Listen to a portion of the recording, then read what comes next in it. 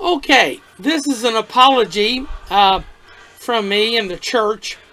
Um, we are, have bought some new equipment to uh, use in our video ministry, and um, we tried it out Wednesday night, and for some reason, um, the application that was running the microphones wasn't quite right on the new equipment, and I had to juggle it around and get it to work right. So, um, this is just a little video to say that we're sorry that you can't view Wednesday night's uh, prayer meeting, service, and sermon.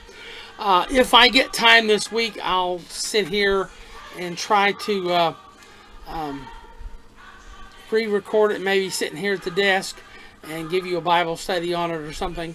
So please accept our apologies, and uh, we're sorry. Um, just keep looking for our YouTube videos. We are making progress. Uh, we will try it again Sunday and see what happens. I may bring it back up. I don't know. All right. Thank you very much for being understanding.